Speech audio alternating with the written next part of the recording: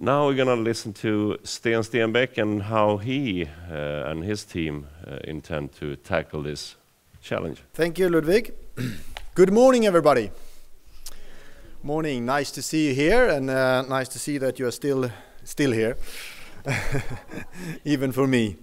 Uh, okay, I'm representing the um, the team from SP, the Technical Research Institute of Sweden.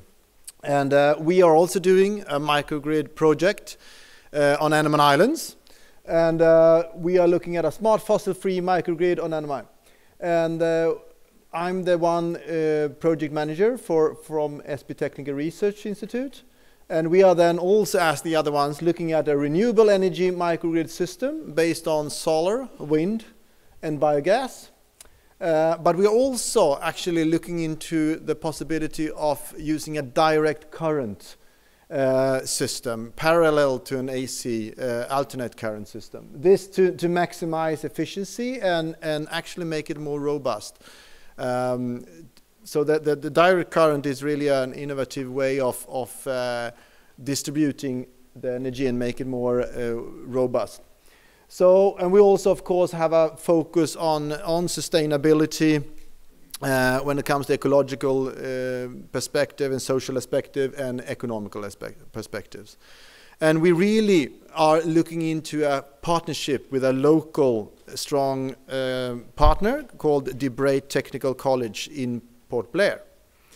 Just to mention a little bit where SP, what that is, because uh, uh, the headquarters is on the east co uh, west coast of Sweden, but uh, we have about 1,500 employees, and we are a governmentally 100% owned research and innovation institute of Sweden. Um, so uh, our purpose of work is to be a, a collaboration partner between the um, the research institute or research uh, schools like the KTH and, and Lund University and all kinds of universities, but also working with industry directly in big calls for innovation projects. Uh, we work in the field of research testing and calibration, for instance, very much. Uh, have a mix between market focus and innovation focus. Um, our team partners in this project uh, are several Swedish companies, small, medium-sized enterprises. We have the Metrum company, Metrum uh, Systems. They have a special kind of metering, uh, smart metering equipment.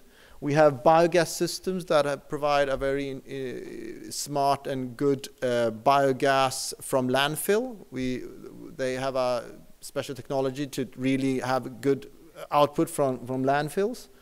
We have Affectus. Uh, they, they are very advanced billing systems and smart metering systems uh, where they provide uh, very efficient ways of, of quickly getting good billing systems.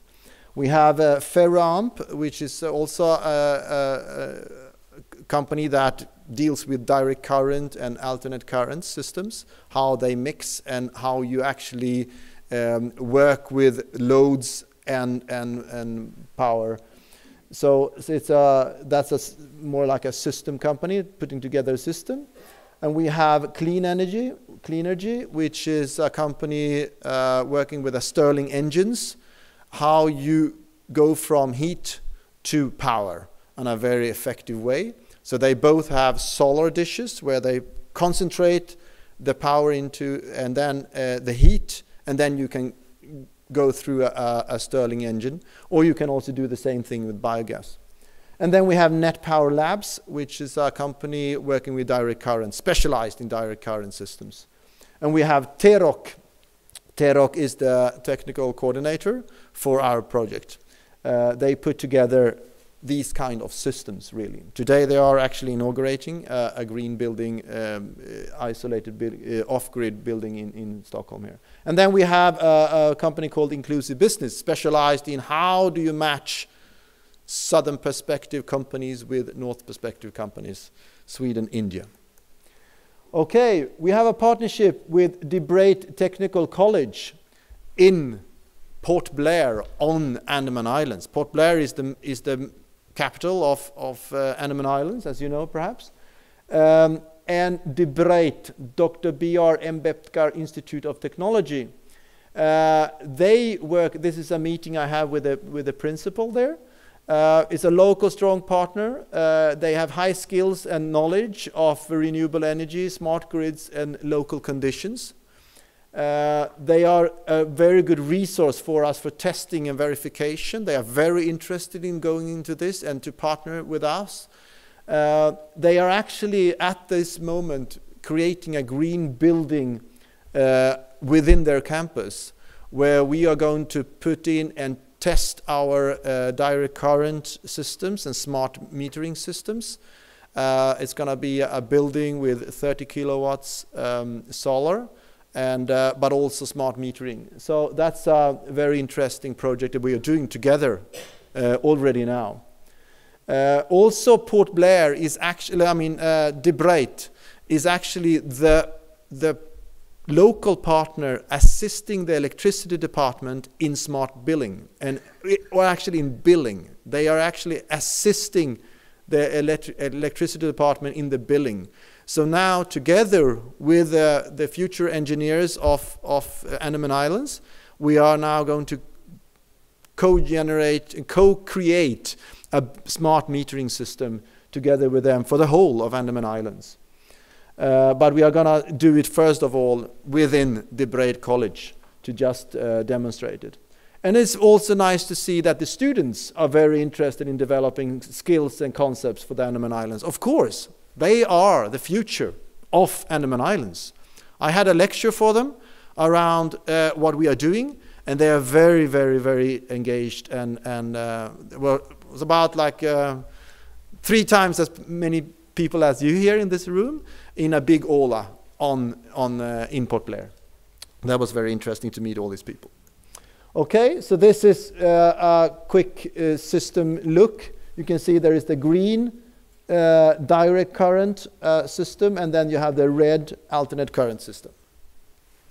I don't go into that too much, but um, just to say that we are, our focus is really to look at Rutland Island, to put uh, with DeBreit, together with DeBreit, to develop this kind of uh, uh, smart direct current system and AC system on Rutland Island.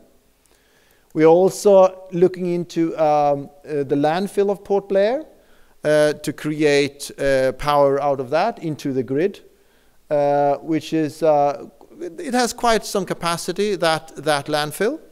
So we think that it could even be like 15 years uh, of, of, even if they close down the landfill, we are, I think that the biogas system will keep on generating power for quite some time, like 10 to 15 years. Uh, so, like all the other teams here today, we are here to do a feasibility study. That's the whole thing of this.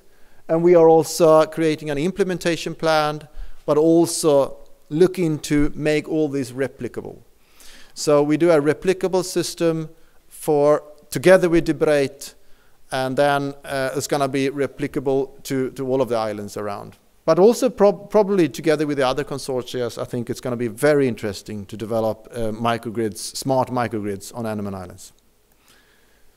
Thank you.